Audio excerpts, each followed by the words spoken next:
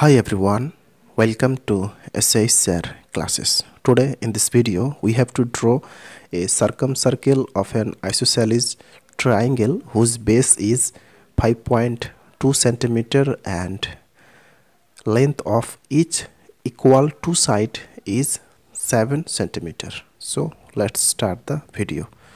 First of all drawing here the base 5.2 centimeter. So this is starting 0 1 2 3 4 5 and this is 5.2 so first drawing here 5.2 then drawing here another line 7 centimeter. So start is 0 1 2 3 4 5 6 7 so this is 7 centimeter.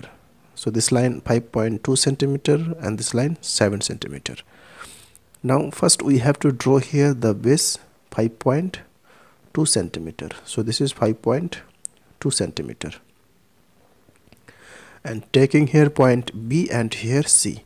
Now taking the length 7 centimeter by using compass by this way and putting the compass on the point B and drawing an arc by this way with same length and putting the compass here and cut here. Now both the curve intersect at a point. Now joining this line first. Next joining this line and both the curve intersect at a point A.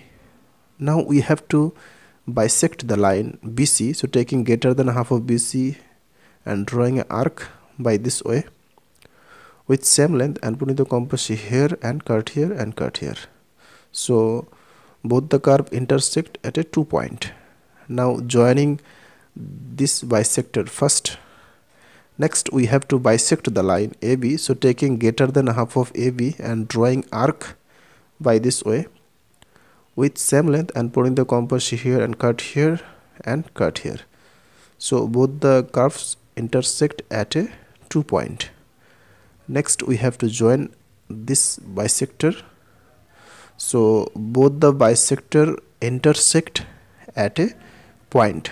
So this is O now taking the length OA OB and OC to draw a curve and this is represent a perfect circle. So now joining O and B and this is the radius of this circle. Now measuring the radius so this is